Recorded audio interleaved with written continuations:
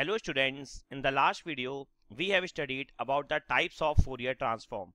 Now in this video I will take one important signal for which we have to calculate the Fourier transform that is rectangular function और gate function. तो आज की video में हम लोग rectangular function और gate function का Fourier transform calculate करेंगे और इससे रिलेटेड एग्जांपल्स भी एनालिसिस करेंगे तो यहाँ पर मैं सबसे पहले आपके लिए एक स्टैंडर्ड रेक्टेंगुलर पल्स ड्रॉ कर रहा हूँ, जो कि हम लोग ऑलरेडी पहले की वीडियोस में स्टडी कर चुके हैं। A rect T upon tau तो इस रेक्टेंगुलर पल्स के लिए हमें सबसे पहले फोरियर ट्रांसफॉर्म कैलकुलेट करना है। उसके बाद हम इससे रिलेटेड एग्जाम्पल्स भी देखेंगे। तो यहाँ पर ये आपका एक रेक्टेंगुलर पल्स है, जो कि माइनस टाउ बाई टू से प्लस टाउ बाई टू तक। ए एम्पलीट्यूड कंटेन करता है। तो अब अगर मैं इसका फोरियर ट्रांसफॉर्म कैलकुलेट करूँ तो फोरियर ट्रांसफॉर्म की लिमिट हो जाएगी माइनस टाउ बाई टू से plus tau by two X T is A E की power minus J two pi F T D T ये हमारा हो जाएगा फोरियर ट्रांसफॉर्म का फॉर्मूला क्योंकि माइनस टाउ बाई टू से प्लस टाउ बाई टू तक जो एक्स टी है आपका, वो ए पर कांस्टेंट है। नाउ अब अगर मैं इसका इंटीग्रेशन परफॉर्म कर लूँ तो ए तो आपका कांस्टेंट है ई की power minus J two pi F T का हो जाएगा। ई की power minus J two pi F T divided by minus J two pi F और लिमिट क्या है हमारी? माइनस टाउ बाय टू से plus tau by two now यहाँ पर अगर मैं अपर लिमिट और लोअर लिमिट को पुट कर दूँ तो आपका एक्सएफ हो जाएगा। ए कांस्टेंट है ए आउटसाइड और अगर मैं यहाँ पर सबसे पहले लोअर लिमिट पुट करूँ, क्योंकि यहाँ माइनस साइन लगा हुआ है तो लोअर लिमिट के सामने प्लस साइन हो जाएगा।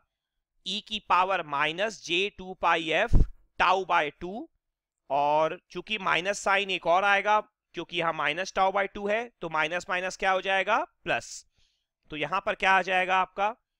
ई की power plus J two pi F tau by two minus E की power minus J two pi F tau by two.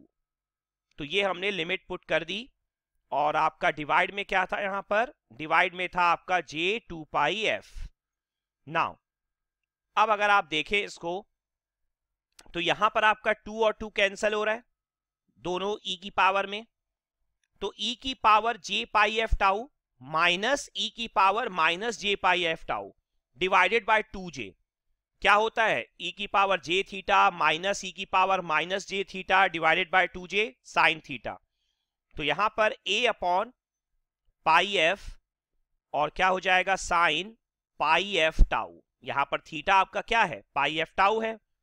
Now यहाँ पर अब अगर आप देखें तो sine pi F tau divided by pi F अगर आपको याद हो स्टार्टिंग की वीडियोस तो हमने एक फ़ंक्शन पढ़ा था सिंक फ़ंक्शन जिसे मैं आपके लिए दोबारा लिख देता हूँ यहाँ पर sinc of T sinc of T हमने पढ़ा था sine pi T upon pi T तो यहाँ पर आप देखिए सिंक टी जब था तो पाई टी पाई टी आपको चाहिए था। वैसे ही अगर सिंक आपका एफ़ है तो आपको sine pi F upon pi F चाहिए होगा।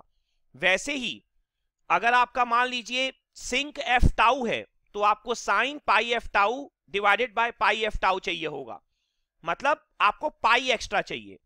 तो यहाँ पर आप देखें ए तो आपका कांस्टेंट है, इस पर कोई प्रॉब्लम नहीं है। यहाँ पर आपका साइन पाई एफ़ टाउ है।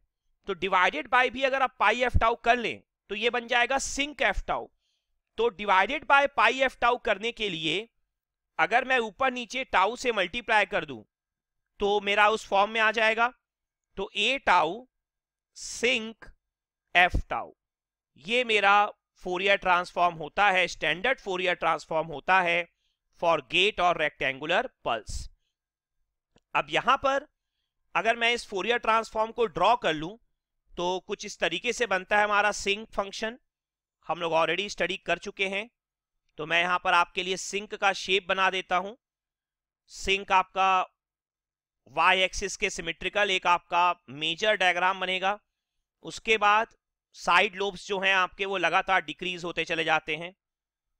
दोनों साइड पॉजिटिव साइड भी एंड नेगेटिव साइड भी।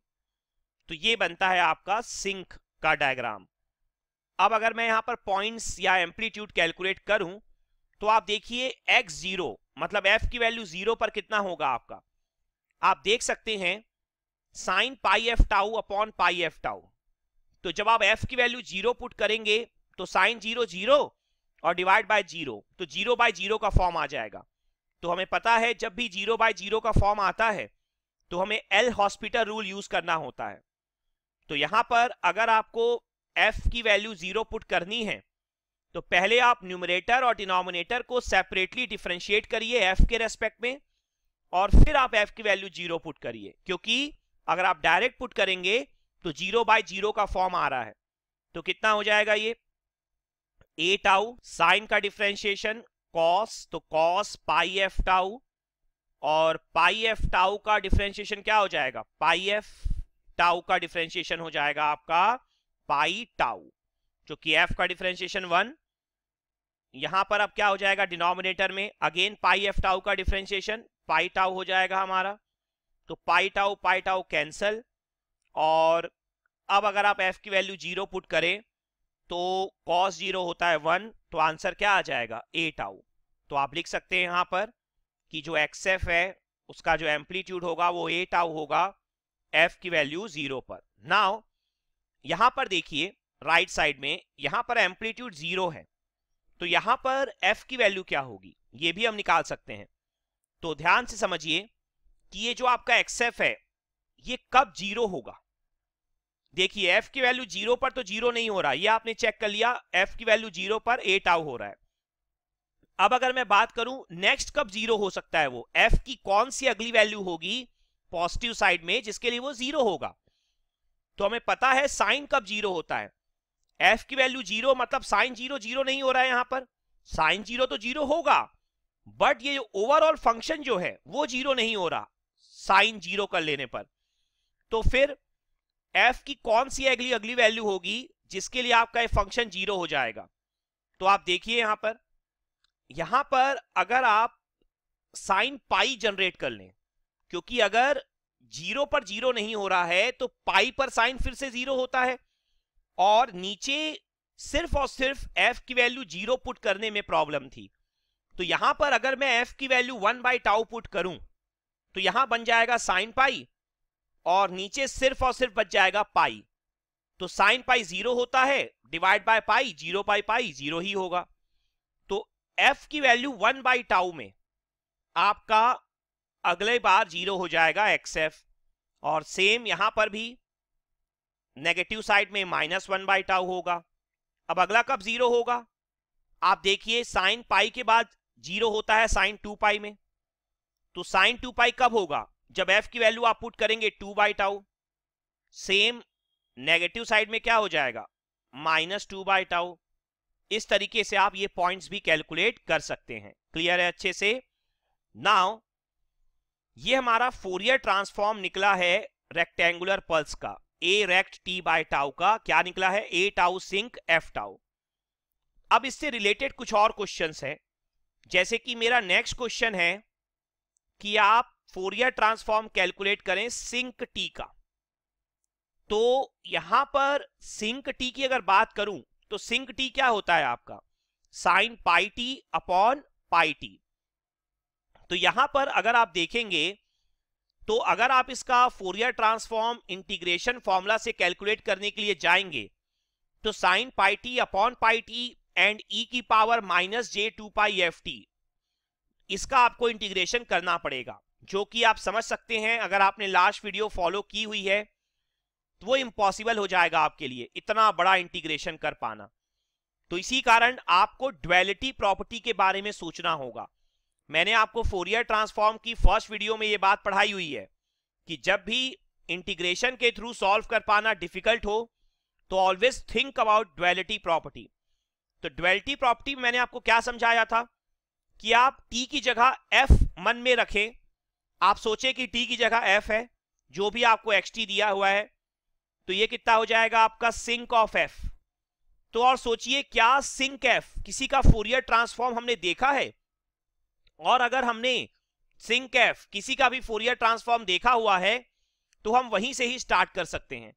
तो हमें पता है कि जो सिंक एफ़ होता है, हमने अभी अभी देखा है कि सिंक एफ़ टाउ मेन आपको एफ़ पे ध्यान देना है। तो सिंक एफ़ आपने देखा है रेक्टेंगुलर पल्स का। तो आप वहीं से स्टार्ट करिए। तो हमें पता है कि A rect t upon tau का जो फोरियर ट्रांसफॉर्म आपका होता है, वो होता है आपका A tau sinc f tau तो यहाँ पर हमें चाहिए सिंक टी का। तो हमें ड्वेलिटी प्रॉपर्टी अप्लाई करनी होगी। तो ये राइट वाला जो सिंक फ़ंक्शन है, वो लेफ़्ट में आ जाएगा। और आपको एफ़ की जगह क्या पुट कर देना है यहाँ पर? टी तो सिंक टी टाउ और जो आपका लेफ़्ट साइड में फ़ंक्शन था, वो राइट में चला जाएगा। और आपको टी की जगह क्या पुट कर देना है? माइनस एफ़ तो ये हमारा फ़ंक्शन हो जाएगा। अब आप देखिए, आपको पता है रेक्टेंगुलर फ़ंक्शन जो होता है, वो इवन फ़ंक्शन होता है। वाई एक्सिस के सिमेट्रिकल होता है। तो रेक्ट ऑफ़ माइनस एफ़ भी क्या हो जाएगा आपका? रेक्ट ऑफ़ एफ़ तो यहाँ पर A tau sinc t tau इसका फोरियर ट्रांसफॉर्म जो है आपका, वो कितना हो जाएगा हमारा? A rect f by tau ये हमारा फोरियर ट्रांसफॉर्म आ गया। लेकिन हमें जो क्वेश्चन दिया है, वो सिंक टी का बोला है फोरियर ट्रांसफॉर्म कैलकुलेट करने के लिए। तो देखिए आपका ए और ए बड़े आराम से यहाँ कैंसिल हो रहा है। और देखिए आपको सिंक टी चाहिए। अंदर में अगर आपको सिर्फ़ टी चाहिए मतलब टाउ को आपको हर हाल में वन पुट करना होगा। तो अगर मैं टाउ को वन पुट कर दू दोनों साइड तो सिंक टी का फोरियर ट्रांसफॉर्म जो है आपका, वो बन जाएगा रेक्ट ऑफ़ एफ़। तो ये होता है हमारा सिंक टी का फोरियर ट्रांसफॉर्म। यहाँ पर अगर मैं इस फोरियर ट्रांसफॉर्म को ड्रॉ कर लूँ तो हमें पता है, आपने रेक्टेंगुलर फ़ंक्शन देख रखा है जब A rect t by tau होता है तो वाई एक्सिस के सिमेट्रिकल इस तरीके से आपका रेक्टेंगुलर फ़ंक्शन बनता है। रेक्ट के सामने जो होता है, वो एम्पलीट्यूड होता है। रेक्ट के अंदर जो न्यूमरेटर में होता है, वो वेरिएबल होता है। एक्स एक्सिस में होता है। और जो रेक्ट के अंदर डिनोमिनेटर में होता है, वो टोटल विथ होती है। तो यहाँ पर आप देखिए अब, जो आपका रेक्ट ऑफ़ एफ़ है तो रेक्ट के पहले जो एम्पलीट्यूड है, वो कितना है? वन। रेक्ट के अंदर जो न्यूमरेटर में है, वो वेरिएबल है एक्स एक्सिस है, और रेक्ट के अंदर जो डिनोमिनेटर में है, वो टोटल विथ है। कितनी है? वन है। मतलब माइनस वन बाई टू से प्लस वन बाई टू ये होता है हमारा सिंक टी का फोरियर ट्रांसफॉर्म क्लियर है पॉइंट अच्छे से? नाउ नेक्स्ट आप देखिए नेक्स्ट क्वेश्चन आपसे पूछा गया है, इसी फ़ंक्शन के ऊपर ही जो हमने अभी एनालिसिस किया है। आपसे पूछा गया है कि आप वैल्यू कैलकुलेट करिए sinc t d t okay आपको सिंक टी का इंटीग्रेशन निकालना है। तो अगर आप डायरेक्टली सॉल्व करने जाएँ से तो आप देखेंगे कि सिंक टी कितना होता है आपका? Sine pi t upon pi t फिर से आप देखेंगे आपके दो फ़ंक्शन हो गए, एक साइन पाई टी का हो गया और एक वन बाई टी का हो गया। फिर से इंटीग्रेशन कर पाना बहुत डिफ़िकल्ट होने वाला है। तो क्या मैं फोरियर ट्रांसफॉर्म का यूज़ कर सकता हूँ? वैसे अगर मैं सिंपली इस क्वेश्चन को एग्ज़ाम में देखूँ तो मुझे लगेगा कोई मैथ्स का क्वेश्चन है, जहाँ मुझसे इंटीग्रेशन पूछा हुआ है। लेकिन जब मैं इंटीग्रेशन करने जाऊँगा तो ये काफ़ी इंपॉसिबल हो जाएगा सॉल्व कर पाना। तो क्या मैं यहाँ फोरियर ट्रांसफॉर्म का यूज़ कर सकता हूँ क्या? तो आप देखिए यहाँ पर। हम लोगों ने फोरियर ट्रांसफॉर्म की जो डेफिनेशन पढ़ी है, वो पढ़ी है माइनस इंफिनाइट से plus infinite x t e की power minus j two pi f t d t अब अगर मैं यहाँ पर एफ़ की वैल्यू ज़ीरो पुट कर दूँ बोथ साइड तो क्या हो जाएगा आपका? Integration x t d t क्योंकि ई की पावर ज़ीरो क्या होता है? वन होता है। तो यहाँ पर अगर आप देखें कि जो आपका एक्स ऑफ़ ज़ीरो है वो है इंटीग्रेशन ऑफ़ एक्स टी मतलब क्या है? कि अगर आपको कभी भी एक्स टी का इंटीग्रेशन कैलकुलेट करना हो, और वो आपसे अगर सॉल्व नहीं हो पा रहा है, लेकिन अगर आपको एक्स टी का फोरियर ट्रांसफॉर्म पता है तो बस आप क्या करिए, उस फोरियर ट्रांसफॉर्म में एफ़ की जगह ज़ीरो पुट कर दीजिए। वही आपके एक्स टी के इंटीग्रेशन के इक्वल होगा। आप देख सकते हैं, ये फॉर्मूला है इसका। तो यहाँ पर एक्स टी क्या है मेरा क्वेश्चन में? सिंक टी है। और सिंक टी का फोरियर ट्रांसफॉर्म मुझे पता है। क्या होता है हमारा रेक्ट ऑफ़ एफ़ और ये मैं क्यों सोच रहा हूँ? क्योंकि सिंक टी का इंटीग्रेशन मुझसे नहीं हो पा रहा है। बहुत डिफ़िकल्ट लग रहा है मुझे। तो मेरे पास एक और अल्टरनेट है सॉल्व करने का क्वेश्चन को, कि सिंक टी का जो फोरियर ट्रांसफॉर्म है, उस पर मैं एफ़ की जगह ज़ीरो पुट कर दूँ। तो आप देखिए यहाँ पर, सिंक टी का जो फोरियर ट्रांसफॉर्म है, वो है आपका रेक्ट ऑफ़ एफ़ तो अब अगर मैं रेक्ट ऑफ़ एफ़ में एफ़ की जगह ज़ीरो पुट करूँ तो क्या आ रहा है एम्पलीट्यूड हमारा? वन आ रहा है। तो इसका मतलब क्या है? ये जो आंसर है आपका, वो कितना हो जाएगा? वन हो जाएगा। क्लियर है पॉइंट अच्छे से? तो ये जो फोरियर ट्रांसफॉर्म है, वो तो आप कैलकुलेट करेंगे ही। बहुत सारे क्वेश्चन आप करेंगे। लेकिन जो इसका एप्लीकेशन है ना मैथमेटिक्स में, कि आप किस तरीके से किसी इंटीग्रेशन को सॉल्व कर सकते हैं, किसी डिफ़िकल्ट इंटीग्रेशन को सॉल्व कर सकते हैं अगर आपको उस फ़ंक्शन का फोरियर ट्रांसफॉर्म पता हो, जिसके लिए आप इंटीग्रेशन करना चाह रहे हैं तो काफ़ी इंपॉर्टेंट है ये पॉइंट ध्यान रखिएगा।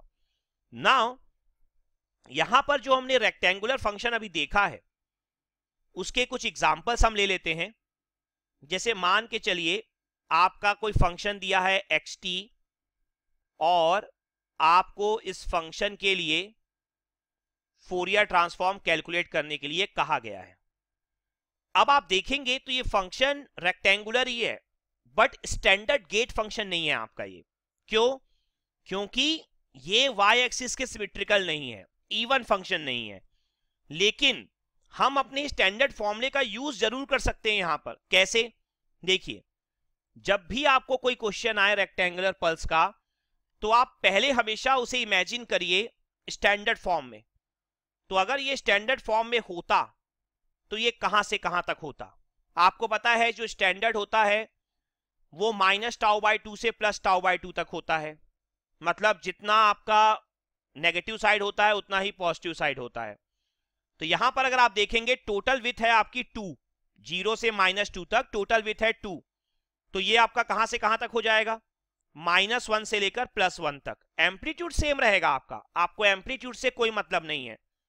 तो आपका जो फ़ंक्शन होगा माइनस वन से प्लस वन होगा, और इस माइनस वन से प्लस वन वाले फ़ंक्शन को अगर मैं अब फोरियर ट्रांसफॉर्म के फॉर्म में रिप्रेजेंट करूँ तो हमें पता है फोरियर ट्रांसफॉर्म क्या हो जाएगा? ए टाउ ए कितना है? थ्री टाउ कितना है आपका? टू तो सिक्स सिंक क्या होता है आपका? एफ़ टाउ तो एफ़ तो एफ़ ही रहेगा, और टाउ कितना है आपका? टू तो टू एफ़ तो ये हमारा आ गया सिक्स सिंक टू एफ़ ये रिज़ल्ट आप यहाँ से ले सकते हैं, जो हमने अभी कैलकुलेट किया था कुछ देर पहले। A tau sinc f tau A यहाँ पर हो जाएगा आपका एम्पलीट्यूड और टाउ क्या हो जाएगा टोटल विथ लेकिन आपको इस स्टैंडर्ड रेक्टेंगुलर फ़ंक्शन का फोरियर ट्रांसफॉर्म नहीं चाहिए। आपको चाहिए फोरियर ट्रांसफॉर्म इस फ़ंक्शन का, जो कि स्टैंडर्ड रेक्टेंगुलर फ़ंक्शन के रेस्पेक्ट में लेफ़्ट साइड शिफ्टेड है। तो आपको अब यह समझना होगा कि मान लीजिए अगर स्टैंडर्ड रेक्टेंगुलर फ़ंक्शन को मैं एक्स आर टी ले लू तो आपका जो एक्स टी है, वो क्या है? एक्स टी जो है आपका, वो है एक्स आर आपका लेफ़्ट साइड शिफ्टेड है ना एक्स आर कहाँ से लेफ़्ट साइड शिफ्ट हो रहा है? किस वैल्यू से शिफ्ट हो रहा है? वन से। तो आप क्या लिखेंगे? X r t plus one जब भी साइन बीच में प्लस रहता है तो लेफ़्ट साइड शिफ्टिंग होती है। तो हमारा फ़ंक्शन जो है, वो वन से लेफ़्ट साइड शिफ्ट हो रहा है। तो एक्स टी क्या होगा? X r t plus one तो मैं फिर से रिपीट कर रहा हूँ आपके लिए। जब भी कोई नॉन स्टैंडर्ड रेक्टेंगुलर पल्स दिखे आपको तो सबसे पहले आप स्टैंडर्ड रेक्टेंगुलर पल्स का फोरियर ट्रांसफॉर्म लिख लीजिए। उसके बाद आप देखिए कि जो नॉन स्टैंडर्ड रेक्टेंगुलर पल्स है, वो स्टैंडर्ड के फॉर्म में हम कैसे रिप्रेजेंट कर सकते हैं। रिलेशन देखिए एक्स टी और एक्स आर टी में। उसके बाद अब हम यहाँ पर एक नेक्स्ट प्रॉपर्टी डिफाइन कर लेते हैं फोरियर ट्रांसफॉर्म की, जो कि होती है आपकी time shifting property that means अगर आपका एक्स टी का फोरियर ट्रांसफॉर्म एक्सएफ है तो x of t plus minus t not का फोरियर ट्रांसफॉर्म क्या होगा? ये होता है आपका ई e की पावर j प्लस माइनस ही रहता है, जो साइन यहाँ पर रहेगा सेम साइन वहाँ पर भी रहेगा two pi f t not t की जगह क्या पुट कर देंगे हम लोग? टी नॉट और साथ में क्या आ जाएगा आपका? एक्स एफ़ तो ये हमारी प्रॉपर्टी होती है, जिसे हम कहते हैं टाइम शिफ्टिंग प्रॉपर्टी तो इसे हम चाहें तो यहाँ पर प्रूफ भी कर सकते हैं, ठीक है? तो आप देखिए आपको पता है जो एक्स टी का फोरियर ट्रांसफॉर्म होता है, वो क्या होता है? माइनस इन्फाइट से plus infinite x t e की power minus j two pi f t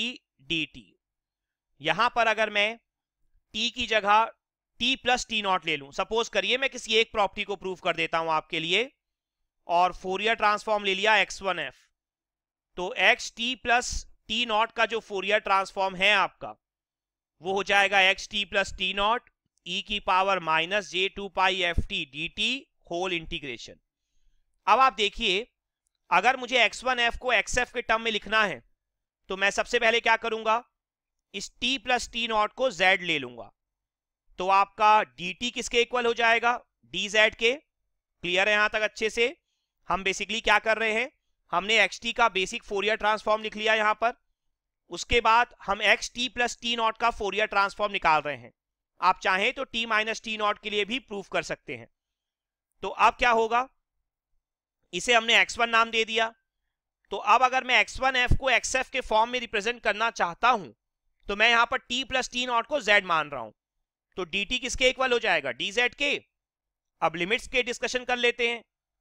T की लोअर लिमिट क्या है? माइनस इंफिनिटी तो z की भी क्या हो जाएगी? माइनस इंफिनिटी t की अपर लिमिट क्या है? इंफिनिटी तो z की भी क्या हो जाएगी? इंफिनिटी क्योंकि t नॉट तो कांस्टेंट है ना?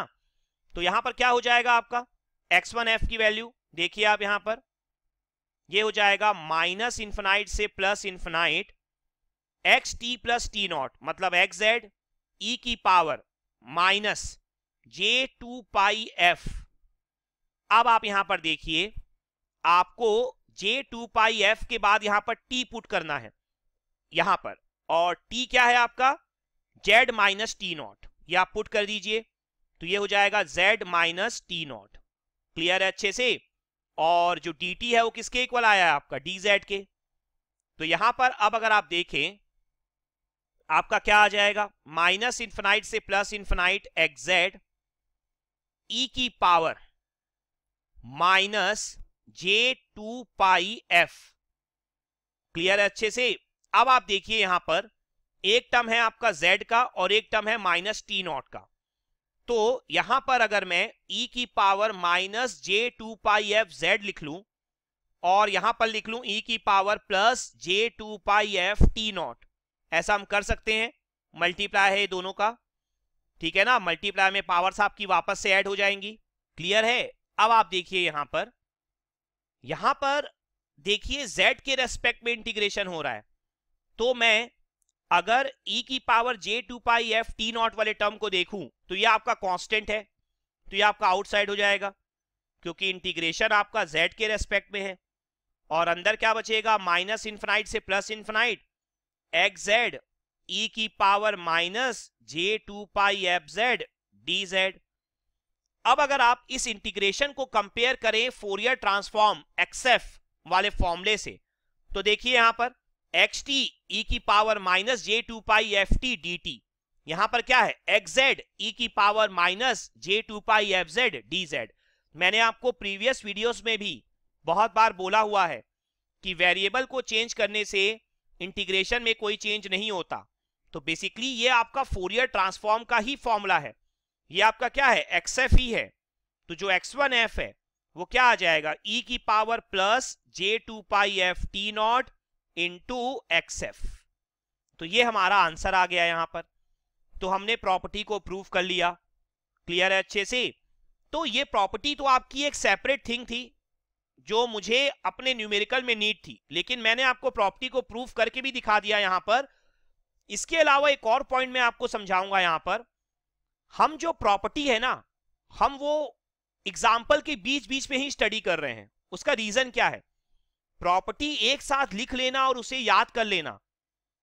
उसके बाद आप कभी उसे एग्ज़ाम में यूज़ नहीं कर पाएँगे, या न्यूमेरिकल में यूज़ कैसे करते हैं वो कभी समझ नहीं पाएँगे। लेकिन अगर हम न्यूमेरिकल के बीच बीच में ही प्रॉपर्टी का एनालिसिस सीखेंगे तो हमें समझ में आएगा कि कौन सी प्रॉपर्टी की नीड हमें किस न्यूमेरिकल में कब होगी। तो ये काफ़ी इंपॉर्टेंट थिंग है कि आप प्रॉपर्टी को न्यूमेरिकल के साथ सीखें। क्लियर है पॉइंट अब आप देखिए यहाँ पर। हमारा क्वेश्चन क्या था एक्चुअल में? अगर मैं वापस आऊँ क्वेश्चन में, हमें इस एक्स टी रेक्टेंगल पल्स का फोरियर ट्रांसफॉर्म चाहिए था। तो हमने पहले स्टैंडर्ड का लिख लिया और हमने अपने गिवन क्वेश्चन को स्टैंडर्ड रेक्टेंगल पल्स के फॉर्म में रिप्रेजेंट कर लिया। तो देखिए आपको स्टैंडर्ड रेक्टेंगुलर पल्स का फोरियर ट्रांसफॉर्म पता है। अब मेरा जो सिग्नल है वो t प्लस वन हो रहा है। t की जगह t प्लस वन तो आपका जो फॉर्मूला होगा, आप देखिए, t प्लस टी नॉट जब करते हैं तो क्या आता है? e की power plus j two pi f t not into x f मतलब जो मेरा सॉल्यूशन है, जो मेरा आंसर है गिवन क्वेश्चन का, वो क्या होगा? देखिए, आपको पहले एक्स एफ़ पता है, क्या है? सिक्स सिंक टू एफ़ तो पहले आप उसे लिख लीजिए। क्या हो जाएगा? सिक्स सिंक टू एफ़ फिर प्लस वन से शिफ्टिंग हो रही है।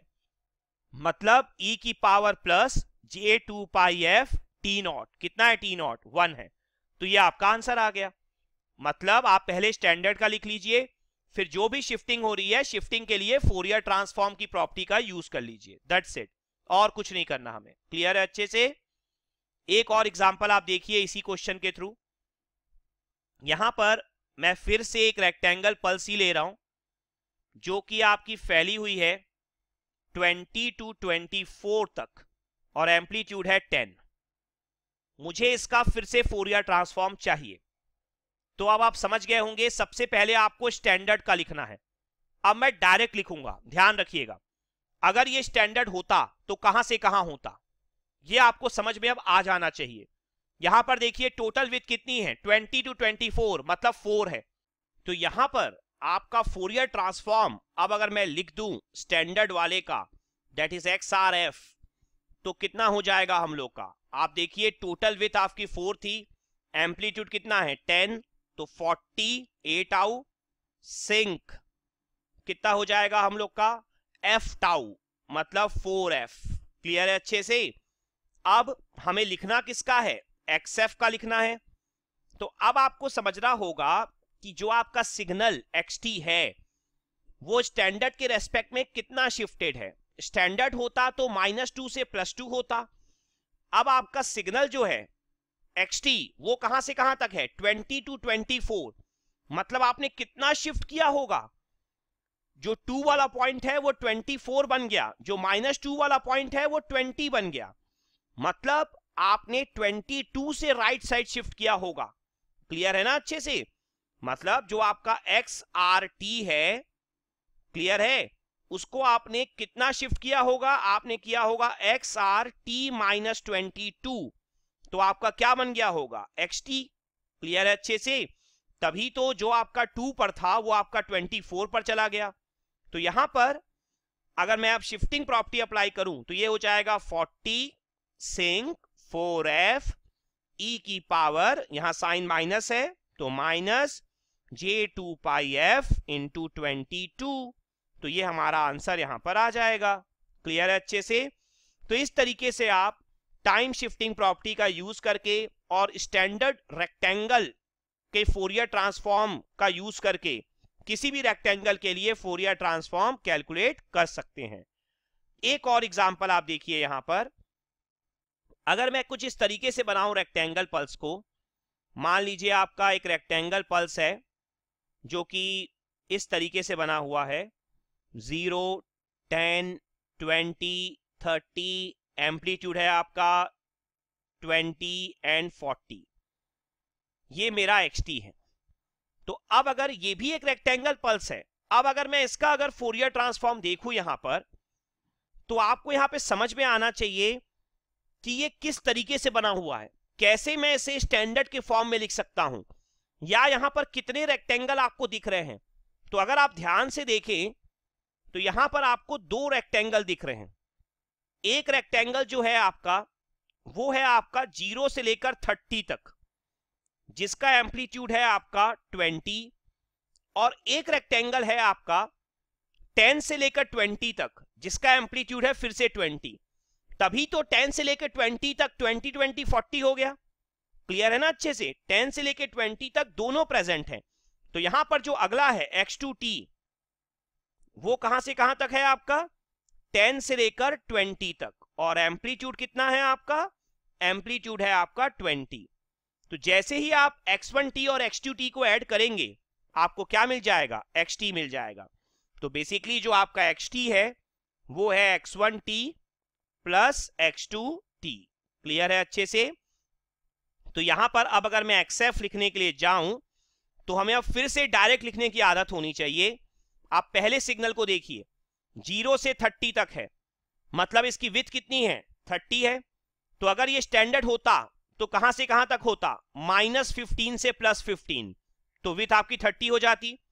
तो पहले हम स्टैंडर्ड का लिखते हैं एक्स वन टी के लिए। तो कितना हो जाएगा? ए टाउ मतलब twenty into thirty, six hundred. Sinc, f tau. Tau कितना है आपका? टाउ है आपका थर्टी। तो कितना लिखेंगे? Thirty f. आगे क्या लिखेंगे अपन लोग? Shifting property. तो शिफ्टिंग प्रॉपर्टी देखिए, स्टैंडर्ड होता तो माइनस फिफ्टीन से प्लस फिफ्टीन होता। तो हमने कितना शिफ्ट किया होगा? राइट साइड शिफ्ट किया होगा? किससे शिफ्ट किया होगा? 15 से। तभी तो देखिए स्टैंडर्ड होता तो माइनस फिफ्टीन से प्लस फिफ्टीन होता। अगर मैं 15 से राइट साइड शिफ्ट कर दूँ तो ये क्या हो जाएगा? ज़ीरो से 30 और राइट साइड शिफ्ट करने के लिए साइन क्या लगता है? माइनस दैट मीन्स यहाँ पर भी ई e की पावर माइनस हो जाएगा। ई e की power minus j two pi f into fifteen ये बन गया हमारा एक्स वन टी का फोरियर ट्रांसफॉर्म प्लस अब हमें एक्स टू टी का लिखना है। तो यहाँ पर देखिए विथ कितनी है? टेन तो टाउ टेन है ए ट्वेंटी है। तो कितना हो जाएगा? Two hundred. Sinc ten f e की पावर अब आप समझिए, अगर स्टैंडर्ड होता तो विथ आपकी टेन है ना तो माइनस फाइव से प्लस फाइव होता। अब माइनस फाइव से प्लस फाइव वाले सिग्नल को मैं किस तरफ़ शिफ्ट करूँ? कि वो टेन से ट्वेंटी पहुँच जाए। ऑब्वियस सी बात है राइट साइड तो माइनस फाइव से प्लस फाइव वाले सिग्नल को मैं राइट right साइड किस वैल्यू से शिफ्ट करूँ? तो आप देखिए माइनस फाइव से प्लस फाइव अगर मैं फिफ्टीन से राइट साइड शिफ्ट कर देता हूँ तो ये हो जाएगा टेन टू ट्वेंटी तो राइट साइड शिफ्ट करने के लिए फिर से साइन क्या चाहिए हमें? माइनस तो कितना हो जाएगा? ई e की power minus j two pi f into fifteen ये बन गया हमारा आंसर तो क्लियर हो पा रही है पॉइंट कि अगर आपको स्टैंडर्ड रेक्टेंगल पल्स का पता है तो आप किसी भी रेक्टेंगल पल्स के लिए फोरियर ट्रांसफॉर्म कैलकुलेट कर सकते हैं। क्लियर है? तो ये आज की वीडियो थी हमारी, जहाँ पर हमने गेट फ़ंक्शन या रेक्टेंगुलर फ़ंक्शन के फोरियर ट्रांसफॉर्म का एनालिसिस किया। साथ ही साथ हमने टाइम शिफ्टिंग प्रॉपर्टी को भी अंडरस्टैंड किया। नाउ रेक्टेंगल फ़ंक्शन के और भी कई सारे क्वेश्चन बन सकते हैं। Rectangle function as a filter की तरह भी काम आता है आपके, जो मैं आपको आने वाली वीडियोस में बताऊँगा। लेकिन आपका बेस क्लियर हो गया है कि रेक्टेंगल फ़ंक्शन का फोरियर ट्रांसफॉर्म किस तरीके से कैलकुलेट करना है। ओके क्लियर है पॉइंट तो अगर आपको इस वीडियो में कोई भी डाउट हो तो आप कमेंट सेक्शन में पोस्ट करिए या आप हमें मेल भी कर सकते हैं। Thank you